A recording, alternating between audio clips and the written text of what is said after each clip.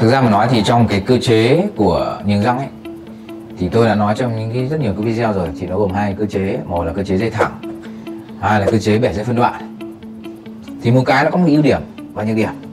Ví dụ như là đối với cơ chế dây thẳng ấy, thì đối với bác sĩ chúng tôi rất là nhàn chỉ việc là đi một cái dây hoặc là nhắn trợ thủ em đi cho anh tăng cái dây lên ờ, cùng cái số tăng cái số lên và răng nó di chuyển đúng như vậy.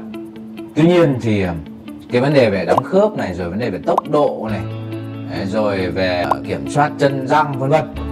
Thì có thể là cái nhược điểm mà cái cơ chế bẻ dây phân đoạn bẻ dây nó sẽ kiểm soát tốt hơn. Thì như chúng ta biết là bây giờ ấy, thì cái thế hệ mắc cài nó đã tạo nên các cái thông số rất là tiêu chuẩn rồi. Và chúng ta có thể áp dụng cái cái kỹ thuật dây thẳng rất là phổ quát. Tuy nhiên thì tại trung tâm chúng tôi các bác sĩ vẫn luôn luôn là bẻ dây để làm sao mà tinh chỉnh à, áp dụng trong các cái trường hợp khó à, ví dụ kỹ thuật mental kỹ thuật ghi ghi ghiu này.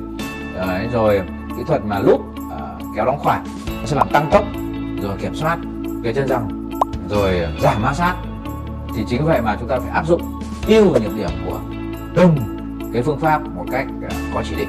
Như vậy. Và xin em xin cảm ơn các bạn đã dành thời gian theo dõi à, cái chuỗi series của chúng tôi.